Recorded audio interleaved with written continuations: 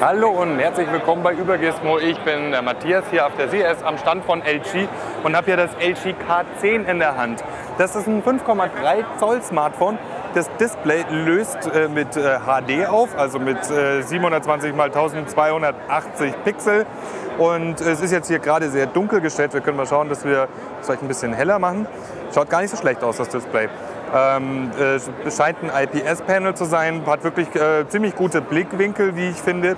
Um, und überhaupt, jetzt schauen wir uns erstmal dieses Gerät hier außen an. Wie von, äh, bei LG üblich gibt es an den Seiten keinerlei Knöpfe. Es äh, besteht übrigens komplett aus Plastik, also auch dieser Rahmen in Chromoptik ist Plastik. Macht aber gar nicht so viel. Es fühlt sich nämlich ziemlich gut an. Was auch daran liegt, dass das Display hier vorne leicht abgerundet ist und äh, es dadurch wirklich ein, ein sehr angenehmes und kantenfreies, ja, ganz kantenfreie Haptik hat. Wie von LG gewöhnt haben wir hinten wieder diese Rear Buttons.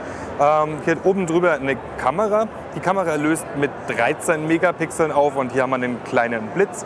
Hier unten können wir die ganze Klappe abnehmen, was erstaunlich ist. Da ist wie gesagt, es gibt hier praktisch keine Spaltmaße und den Akku drin hier wechseln. Der Akku hat eine, übrigens eine Kapazität von 2300 mAh. Außerdem kann man hier äh, hinten dann natürlich die SIM-Karte einfügen und auch eine MicroSD-Karte. Ähm, die MicroSD-Karte könnte auch nötig werden, denn meines Wissens sind hier nur 8 GB RAM verbaut. Aber ich würde sagen, das können wir jetzt ja einfach mal äh, nachschauen. Dann wissen wir nämlich auch gleich, ähm, wie viel von dem Speicher dann tatsächlich noch frei ist. Also ich habe Quatsch erzählt, es sind 16 GB insgesamt verfügbar und von denen noch knapp 10 GB für eigene Anwendungen, Bilder und Videos und so weiter.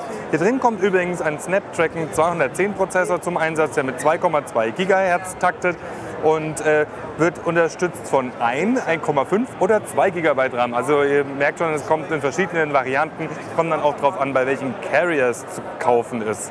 Ähm, hier vorne die Kamera hat übrigens äh, eine Auflösung von 5 Megapixeln und kommt auch mit einem Blitz, was ungewöhnlich ist für, ähm, ja, für Smartphones an sich und vor allem für Einsteiger-Smartphones.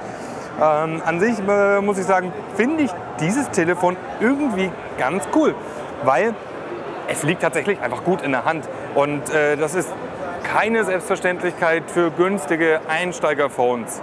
Und äh, wenn das dann vielleicht tatsächlich auch noch ganz ordentliche Bilder macht und vor allem bitte in Deutschland auf den Markt kommt, zu einem vernünftigen Preis, was alles noch nicht so ganz klar ist, könnte ich mir vorstellen, dass das für einen ein oder anderen durchaus interessant ist. Ähm, ansonsten könnt ihr gerne mal auf übergizmo.de vorbeischauen, da findet ihr dann alle möglichen Infos, die ich jetzt hier in einem kurzen Hands-on nicht untergebracht habe.